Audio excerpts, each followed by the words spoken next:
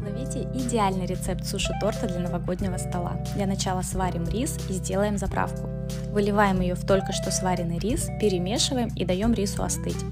Глубокую чашку либо сито застилаем пакетиком, либо пищевой пленкой и слоями выкладываем сначала рыбу кубиком, затем рис, утрамбовываем его мокрыми руками, смазываем творожным сыром и нори нарезаем на небольшие кусочки, поверьте, так будет удобней. Сверху выкладываем огурец, нарезанный кубиком. Не режьте его пластинками, не совершайте ошибку. Оставшуюся рыбу.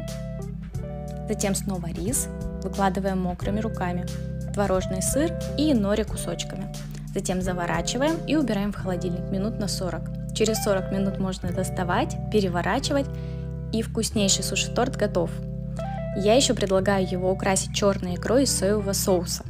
Рецепт есть в предыдущем видео. Во-первых, не нужно ставить соусники на стол, а во-вторых, год тигра.